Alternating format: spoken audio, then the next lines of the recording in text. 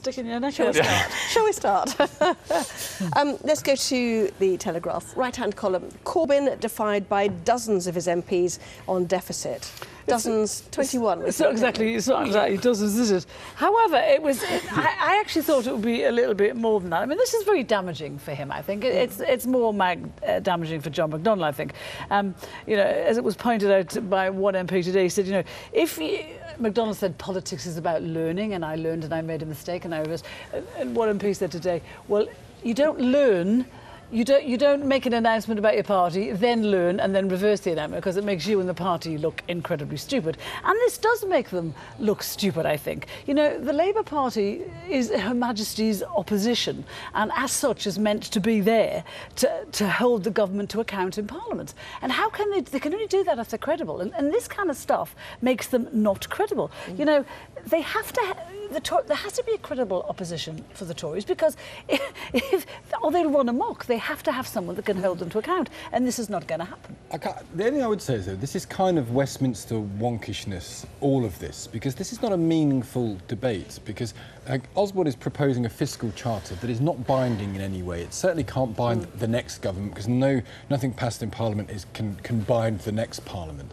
So Corbyn's saying we want to run a surplus. McDonnell said two weeks ago, yeah, it's probably a good idea to show that we're not deficit deniers, so we kind of agree with it. And then he said subsequently in the last couple of days or the last day, oh, actually, I'm going to, to uh, to, to, vote against this because I've spoken to the people in Redcar and I've had some professional advice, unspecified what that might be. And actually, I think it probably isn't a good idea. He hadn't taken it to, before, to but there you go. A, a service. Mm. But then you're in this, this kind of absurd situation where 20 odd Labour MPs are abstaining. What does that yeah. mean? But this, but this, what, what, what, does any of this, mean outside of Westminster? It's a, it's a, it's a proposal by the government that has no binding power. The story isn't about the fiscal yeah. policy at all, is it? This is about the rebellion against the Labour Party and what's happening within the Labour Party and the disintegration mm. of the party itself. You know, you have you have MPs coming out of meetings saying this is ridiculous, just saying you know we we can't go on like this. So it's not about the fiscal mm. policy at all. It's about yeah. what's and that's, happening. And that's why the commentary underneath this has been this was a set a trap set by George Osborne that if you don't sign up to this your deficit de yes. denies, and if you do, you bind yourself to the austerity. Therefore, you're not an anti-austerity. I totally get that. I just think that it's a classic example of the reverse end of the telescope thinking of people in Westminster. Oh, it's a political trap set by uh, George Osborne and McDonnell's blundered into it, or has he not blundered into it? And actually, there is a kind of underlying point here: is who actually cares oh, if George Osborne is outsmarted through some slightly recondite parliamentary you posturing? You can't say who cares because actually, proper, proper Labour voters care. They care about what's happening to the party. They don't want this kind of fighting because what they want in the end is for the government, is for the Labour Party to win the election. What they might so for them it matters. You can't. what they might care matter. about is that McDonnell has, in the end, rightly or wrongly, articulated a point of principle, which is they feel that their best position is to be anti-austerity, and it comes down to a simple question: is whether George Osborne is effectively saying we believe by the end of Parliament we should be running a surplus, and what McDonnell is kind of saying is but, maybe, maybe not, but the route to get there cannot involve. You're the only one getting hung up on the detail of what this yes. is actually about. Yes. Well, I'm just, yes. I'm just, Carole I'm... is saying that you've had the, the anthem to sing or not to sing. Yes. You now get white well, tie well, to wear or not to wear. Yeah, and also you get Privy well, Council to kneel yeah, or not forgive, to kneel. At what point is it going to be about Labour politics? it's all about genuine opposition. forgive me for giving, well, forgive, me for giving them uh, the, the uh, courtesy of watching them spend the last four hours debating something in our parliament and trying to pretend oh, that actually it's meaningful. No. I'm just all I'm saying no, is if, if, if it's meaningful, then let's talk about. pretending it's meaningful. We know what it's all about, and the, the, the next story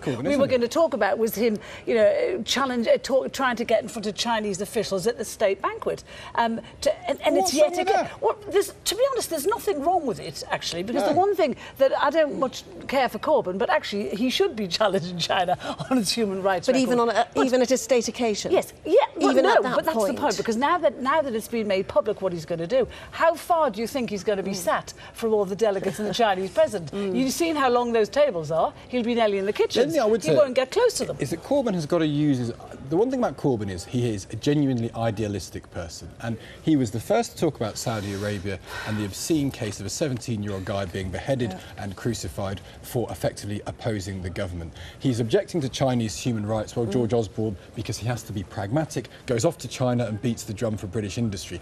There has got to be a use of Jeremy Corbyn. And if, if, to be honest, that use is confining himself to making human rights arguments, talking about abuses in countries, then that's not a bad thing for him to be doing. All this get... is about whether he's fit to be leader of, of Her Majesty's opposition. I would say that. And I, I think what's coming out is that maybe he isn't, and maybe John McDonnell isn't fit to be Chancellor. I would say that that argument is well and truly over. He clearly by any standards, is not the right person to lead the Labour Party as a pragmatic, credible opposition. But some Labour Party people want oh, yeah. him out. I'm sure and, that, and that's I'm, what this I'm, is all about. I'm sure they do. But all I'm saying is that if he is going to have a use while he's doing this and while he's standing up in Prime Minister's questions and, and reading out questions from people who've written to him and, and not really challenging the Prime Minister, if we're going to have the facade of that happening every week where today he stands up and says, Mark from Middlesex says that this isn't a very good idea, is it, Prime Minister? And David Cameron, who's been batting this sort of thing away since he was presumably just out of swaddling, stands there, doesn't get challenged. If that's what we're going to have, that's fine. But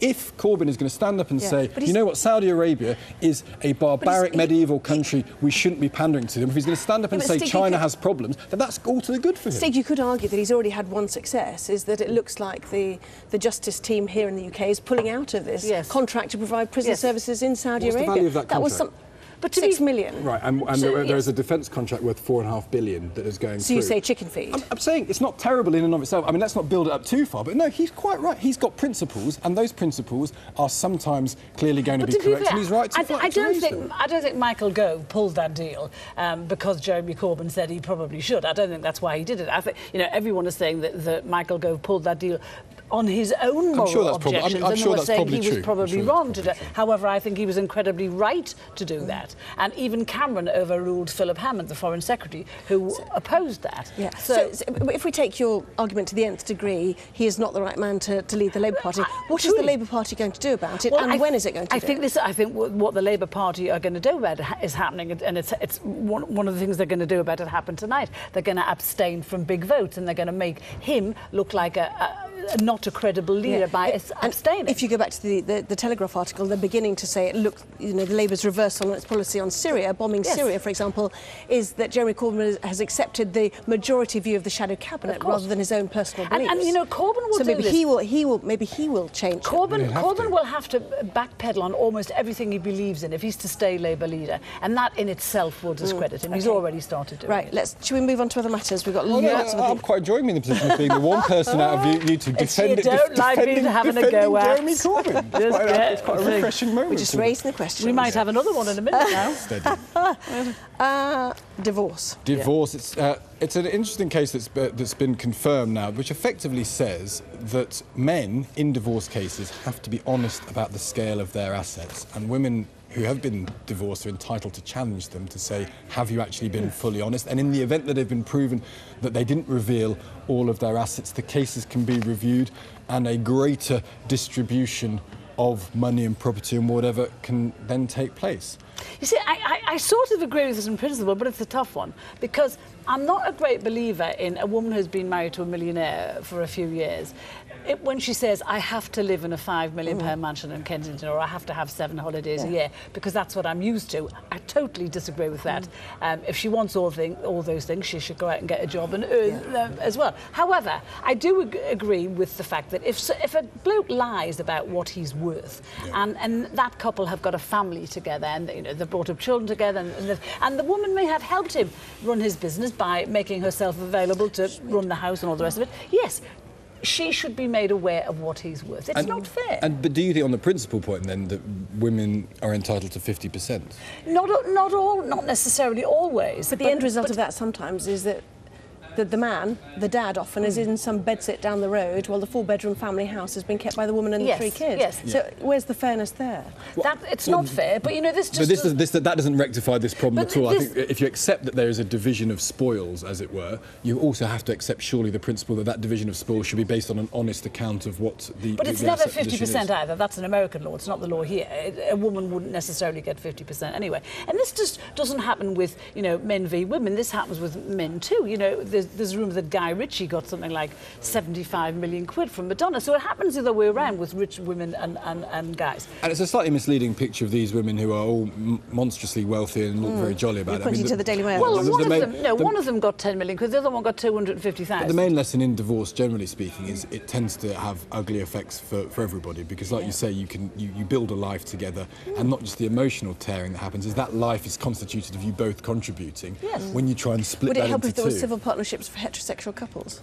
Well, I, I have no idea, but... Uh... Well, I don't understand that argument, really. I mean, I think the argument should be that there's got to be an equitable way of de-integrating a couple in a way that doesn't leave the man living in it. Yeah, the conscious, yes. the conscious, the conscious uncoupling, the conscious uncoupling of, of, divorce. He, the assets should be declared, and the judge should make the decision about you know who gets what. It just it shouldn't be hidden, basically. Yeah, uh, lots more still to come, including uh, inside the newspapers. Has a strictly judge been strictly or slightly out of step?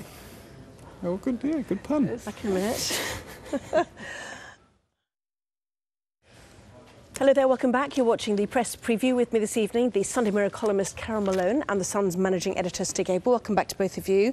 Uh, let's go to the Daily Mail, shall we? Which is uh, a story reiterated in many of the front pages for tomorrow. The damning of NHS hospitals. This is a report by the Care Quality Commission, which says what? It's a shocking report, really, because shocking. in the aftermath of mid staffs, the one thing that I think we all believed was that the record on safety was being mm. fixed. And we all know about the, the economic pressures on the NHS and almost on a daily basis, certainly on a weekly basis, that's writ large. There's going to be a deficit this year of 2 billion quid uh, for English NHS hospitals. There is no money. It's massively overstretched.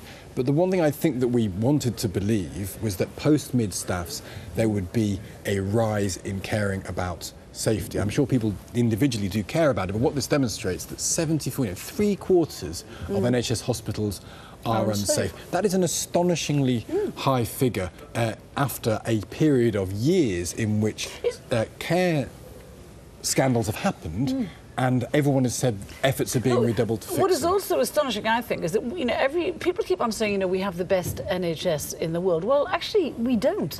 You know, the, the Nurses and Midwifery Council last week put out a diktat now that nurses and midwives are going to be checked to see if they're they're fit for purpose, basically, they're up to the job. I mean, what a terrible situation that is. That a nurse has to be checked out to see if she's caring and compassionate enough. She should be by her very nature. That's that's what nurses exist for. And while we have some fantastic nurses, we clearly have a lot who aren't fantastic. And, and the same applies for doctors. And we keep on hearing the doctors are fed up with the NHS and they're fed up with the, the hours and they, they want to go to different countries. But this shows that people just aren't doing their jobs properly. Does it? Or, or simply that the financial well, squeeze is really now well, beginning would, to tell? Is it, is it just that?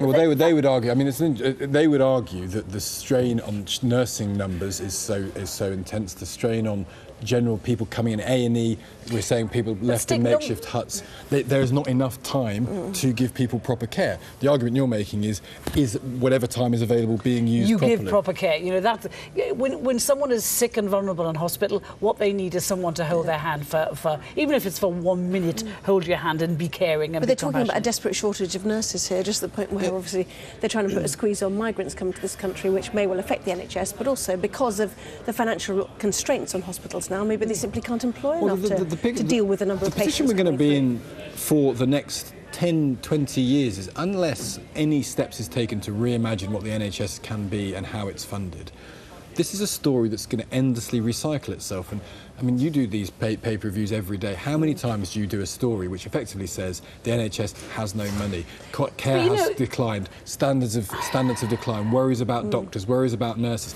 It is a tsunami of negativity that is unstoppable. We can't put it all down to cuts. It's not all down to cuts. I mean, the story this week came out, wasn't it? The, the report came out today that an NHS whistleblower was named by his shameless bosses. The professor had revealed that dozens of patients were needlessly put through the agony of chemotherapy. Now, that's not to do with cuts. That's to do with bad care. And we hear about bad no, it's care. it's to do with covering your back in case there's a follow-up because that patient did need chemotherapy. No, they didn't need as much as they had, though. They were put through more chemotherapy than they should have had. Um, because this Do you not think each patient would prefer to have more and know they're No, they cured no, of, no, or no, cleared not, not when they didn't need it, and not when it was agony for them, when they were put through needless agony. That's what this report said. The pressure is very hard to quantify. I think I, I do understand what you're saying, Carole, but there's also this argument of the pressure, the, the intense pressure on the services, the intense pressure, and, and the over management, the over uh, the over bureaucracy that affects it means that Well- each decision is now a question of not only do you try and make the right decision, you're concerned about the attendant. But uh, this is also in the week can that we, follow it. that, that we read. There was a story about NHS fat cats getting multi-million pound Yeah, 'cause it's payoffs. badly run. That is still happening. That's got to stop. If they didn't get those payoffs, there'd be more money for patient care. And who who was supposed to be controlling these payoffs? We were told after the last NHS boss got fired, we were told that that wouldn't happen. That would be brought under control, and it hasn't been. So is the truth basically it needs more money put in? It's a bit of both. well, the, the point I'm trying to get to is that the, the, the previous Conservative government back pre-Blair, we were seeing people treated in hospital corridors, Yes. and that's why the Labour Party, when are. it came in, put lots more money into the NHS. But the- is there a danger that we might go back to Well, that under, well, under a Conservative But I think we're already better. You know, the, the Labour have said there's 24 hours to save the NHS, there's a week to save the NHS, there's Yeah.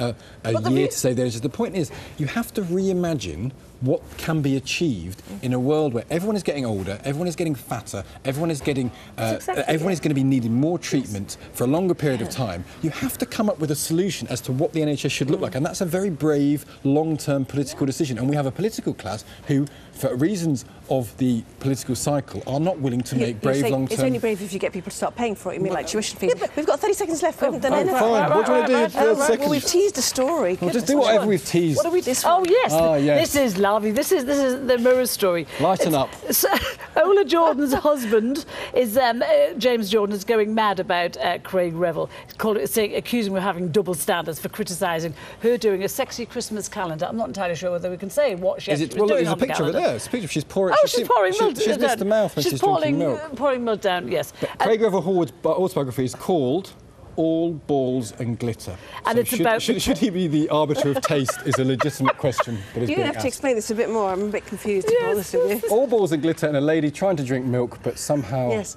possibly to- promoting something for herself, no? Potentially, yeah. Potentially. And um, Carole, we've run out of time, honestly. Okay, I'll shut up No, then. we No, shouldn't. no, we will We're off, too we're off to much. go. We're off to practice drinking milk. Yeah, no, we're not. Stig and Carole, thank you.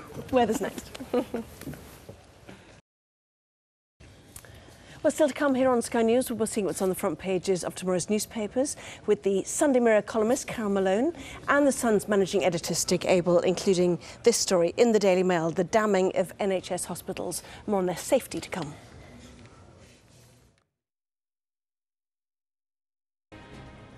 Hello there, you're watching Sky News and the press preview. In the next half hour, we'll see what's making the newspaper headlines with tonight the Sunday Mirror columnist Carole Malone and the Sun's managing editor Stig Abell.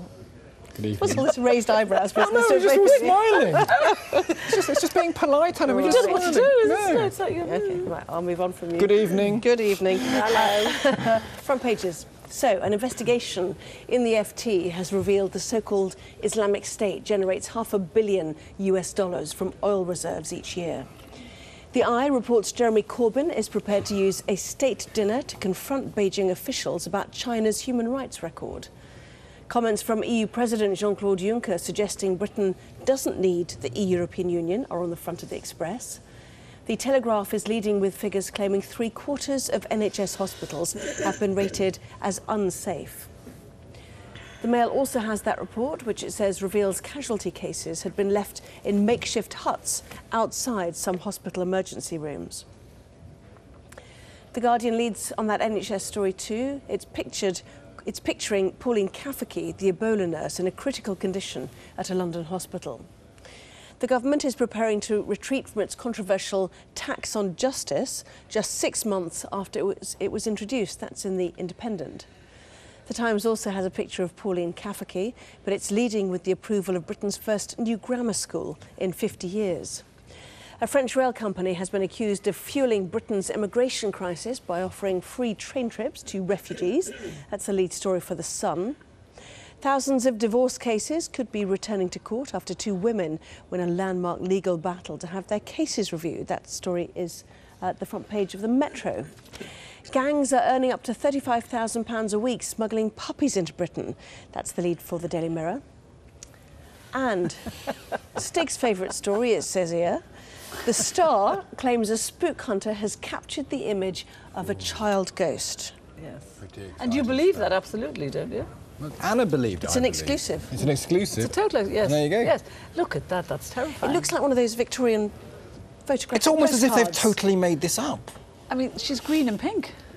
Is she? Oh, her teeth are, It's yeah. the first Teeth are terrifying. green. You want to see it again? It's a funny old. I mean, thing. look, It's a strange way to- Yeah, but they And periodically do this. to green Star. They periodically just do these ghost kids. and Because then they, sell well. But they, well, they do. The They, paper does, I mean. People well, want to compar- believe it. comparatively against itself, this is a relatively uh, a good sell for them. Yeah.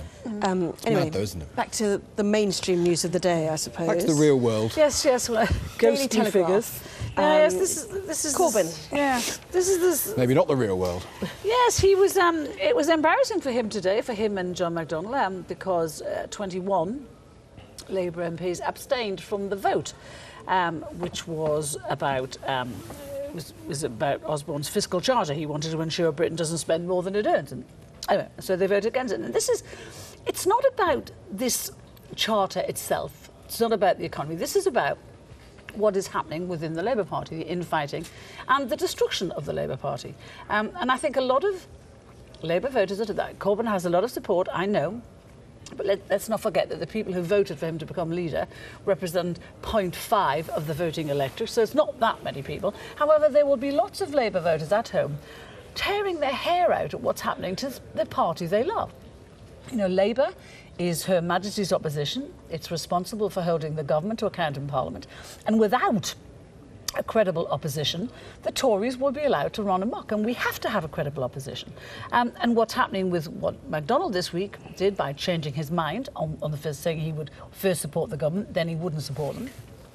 He's he's made the party look stupid and amateurish. It was it was a stupid and clumsy thing to do, and just because he admits it and says you know uh, it was a bit embarrassing, it doesn't make it okay. The party is in a mess, and it needs to be credible to, to win an election, and currently it isn't.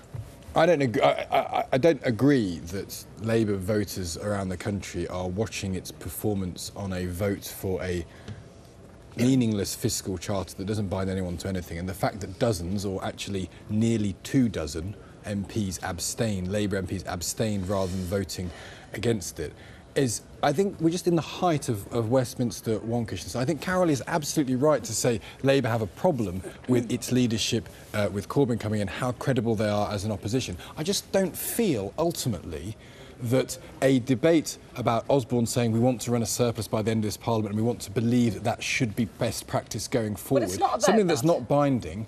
Uh, and McDonnell two weeks ago said it was a good idea to show they weren't deficit, uh, deficit deniers and has now changed his mind.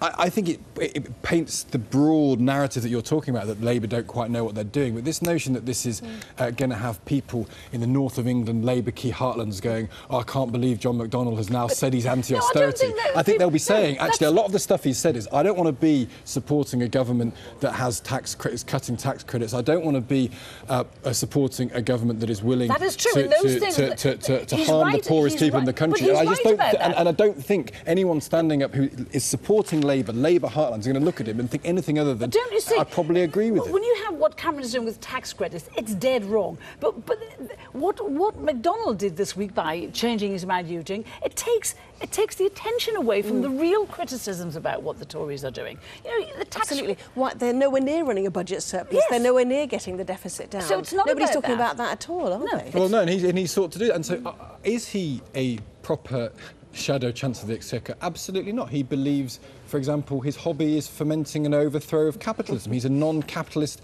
uh, wannabe chancellor of the exchequer. He has had a, a track record of supporting the IRA in the same way that his leader has. His leader doesn't believe in uh, having an army. His leader doesn't believe in the nuclear deterrent under any So circumstances. you're listing what everyone else in the country is thinking. They're thinking, my God, how much more can we take I about agree with these this, two people? but what actually McDonnell has ended up getting to is a point of non-pragmatic principle. The great criticism of this position is Osborne is saying, surely we have to live in a world where we don't borrow too much. Yes, surely we have to live in a world where we control Don't our, spend our, our spending. earn as a and actually, McDonnell is saying, I'm not so worried about that because he's, they're becoming a party of an ideology. The ideology is we're anti-austerity. Anti-austerity mm. is a meaningless tag. Of course, everyone is anti-austerity. In an ideal world, anti-cutting services, no one with their right mind would oppose that. We don't people, live in a real people world. People should be worried about the fact that, that, that Labour currently seems to, their policy is they want to borrow more than they actually have, because that is terrifying, because that means in other countries we won't, we won't be allowed to borrow money. We won't be allowed to operate with other countries mm. if, if that's our policy. They won't deal with us. Well, so people should actually be worried about I, that. But, but, there's more distractions to come next week, aren't there? If we go to the Eye and the Independent yeah. as well, where there's a picture of the laid-out dinner in the in the Independent.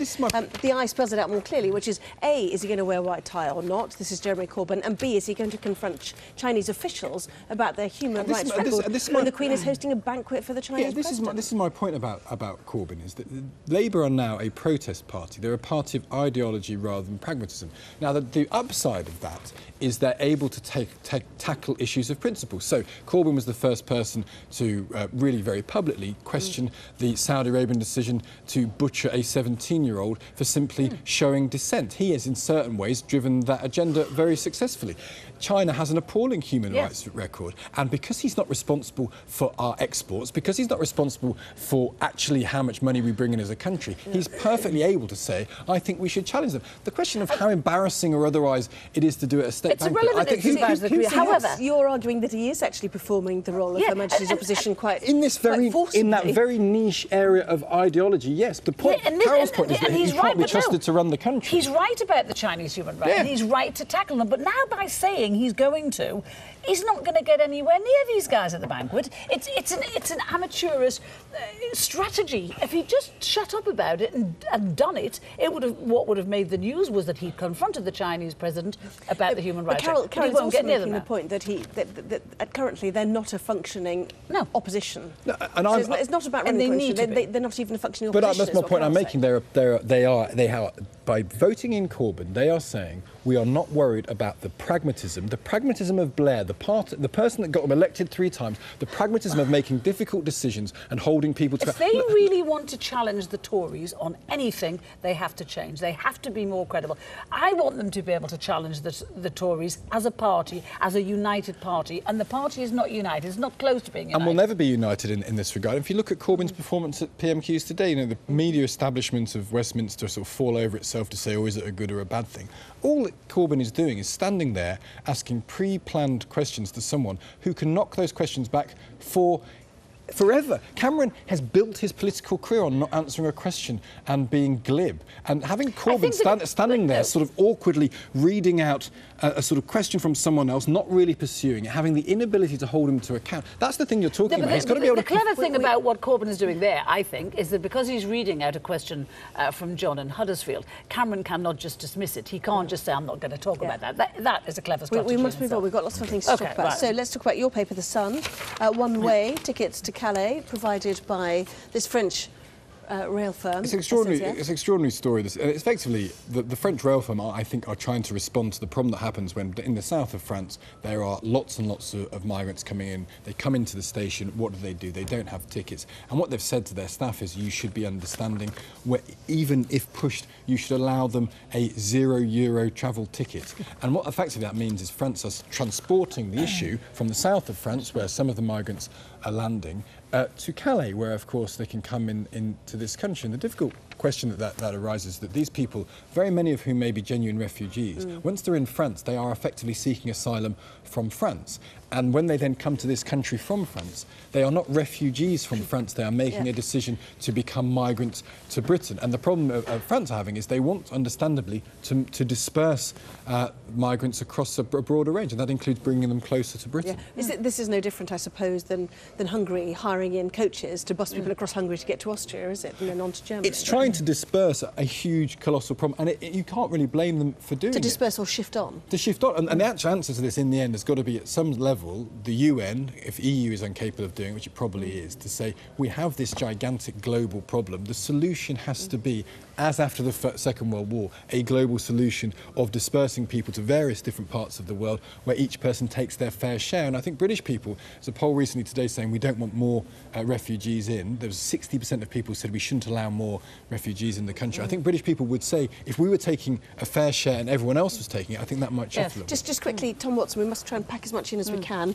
Uh, in the Times, third MP uh, smeared in Watson witch hunt. Some might say there's actually a witch hunt now against Tom Watson himself, but uh, but there we are. What's irony upon ironies, if yes. they would say that. I mean, the, the problem that, that, that has happened here, I think being generous to Tom Watson he is a man who believes very fervently that child abuse should not be covered up. Clearly, the British establishment has a record of covering up abuse, a la Jimmy Savile, and he's perfectly right to fight against it. The danger that's happened is the pendulum in this difficult area has swung back too far the other way, and he is too bold in his claims. He's interfered too much in CPS uh, prosecutions and investigations, and he's led to innocent people in the, the form of Leon Brittan particularly, who was exonerated before he died. The police never told him. And so Tom Watson, in a certain way, despite even starting with good intentions, has done a disservice to victims because now there is a suspicion about the people who are making the claims rather than the suspicion I, about the people I alleged to have done it. The problem in the beginning was when he made the claims about Leon Brittan and the police were investigating. That, that's one thing. The police are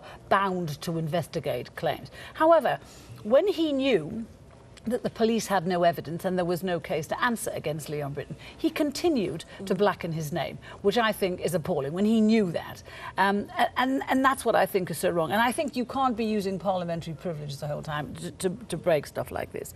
Um, he seems to have bullied the authorities. I mean, why would the police allow themselves to be bullied? by Tom Watson. They're the police, for goodness sake. They, you know, they're the law. They shouldn't be bullied by by a bloke like and he this. said, what else could I do? And the answer probably been, you could have passed this on to the authorities. You yes. didn't need to quite make such a show of it. And the suspicion is you've made a show of it for political ends. And that yes. is an accusation yes. that is going to haunt Tom Watson for, okay. for, time to come. Uh, lots more still to come, including the very latest about the, uh, the NHS and difficulties there. And also new advice to stand up to your parents-in-law, if that's what you need to do. Back in just a moment.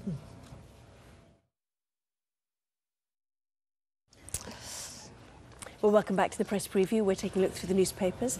Joined tonight by the Sunday Mirror columnist Carole Malone and the Sun's managing editor Stig Abell. Welcome I'm back. Keeping my eyebrows down. We're not allowed yes, to. I think we're not allowed to rant. We've been ranting, haven't we? Yeah. I'm not sure. Carole, can you raise your eyebrows, Carole? Shut your. Do you know what? It's my birthday today, and he's been oh, hideous oh, to me. Birthday. Carole is, Carole, Carole is 39 today. Yes, that's the, see, there you go again. Yeah. And what are you laughing quite so hard at? yeah. For goodness sake. Uh, I'm not. You're, not, you're not 39? No, oh. you know I'm not. We're anyway. not going to laugh at this story story, are we? Which is uh, a serious story about the NHS. It is, yes. In laughing. the Daily Mail, 13% of hospitals inadequate for safety, 61% require improvement, giving a a total there. 74% are deemed I mean, unsafe, says the Mail. This is astonishing, you know. It's, and as I said before, you know, after mid-staffs, we were promised that everything was going to change. We were told that, you know, this this uh, this culture of um, no care, no compassion, of sloppiness, of you know patients trying to drink water out of vases. All this was this was all going to stop. And we were told that NHS fat cats weren't going to be paid as much, that the money was going to go into hospital care. And it seems like nothing has changed. Not only has it not changed, it's got worse. I mean, this is shocking. 74%. It means that in every city in this country, people will be scared. Every city and town that the hospital they go into is mm. not up to scratch. And the Care Quality Commission said, there's a 120 page report, says they're inadequate. Mm. And we've still got people in corridors, sleeping in corridors overnight on trolleys waiting to be seen. Yeah, and the specifics of this seem to be A, a shortage of nurses, just looking at the front yeah. page copy. Secondly, an inability to learn when things go wrong, unlike, for example, the aviation industry, which pours yes. over things. And then tries, the other thing that Jeremy Hunt, the point he makes, and this is him trying to spin his way out of what is a very damning report, but what the report also does show is there are some trusts mm. that are performing outstandingly. Right. And so this notion that the NHS is running short of money entirely, that must be true for the trusts that are performing outstandingly. So one of the hmm. issues mm. with the NHS, and it's the great sort of postcode lottery that exists, is why can uh, one part of the country perform brilliantly and another part perform so badly? And I think one of the things they've got to try and get to the bottom of is, is the answer to that question, because nurses are leaving, doctors are leaving, there's no money. That is a problem that is a curse for the NHS as a whole. And yet within the NHS, there are pockets of things doing really well. So clearly the next lesson from this is to try and learn the lessons of success as well as learning the lessons of failure. But there's only one lesson when you when you when you're, in, you're running a health service, and that's you look after your patients. That's first and foremost, and that's what's not happening. So that's uh, not looking after patients isn't about money. That's about how you're doing the job and how you're performing the task. It's- And as you say, if, if some trusts aren't losing money, how? Yeah. uh, Yeah, lots more She to wants do. me to Um, move on. I know. do, I- um, I'm gonna shut up look, now. Exactly. Shut up, Carole. Politely done. Just say Not- shut up, yeah, Carole. even on your- even on I'll your do that. birthday, yeah. Yeah, on my In birthday. that, yeah, I'm sorry. Oh no, no. Yeah. Just let her ramble shut on. up. Yeah, let her ramble on. She's getting old. And then bring a cake and a glass of champagne. You know. Um, Okay. She's getting right, on a at the top here. This, is best for the kids. Yeah, now this story I think is shocking. This is a runaway mum uh, from Bradford, and she's taken her children um, and her husband, and her kids are aged between five and fifteen, and she's bought a one-way ticket to Turkey. And she says this is this is what's I think what's best for my This kids. is a text to a relative, the paper says. Yes, a te- yes. I'm doing what is best for the kids. I'm doing what's best for the kids. Hmm. Now, how can you live in this country with all its freedoms and everything it has and believe that taking your kids to Turkey and presumably on to wherever, to whatever war zone, how can you believe that that's best for your children? Hmm. What kind of brainwashing is going on with people when they live in, in a country like Britain, democracy, freedom, everything?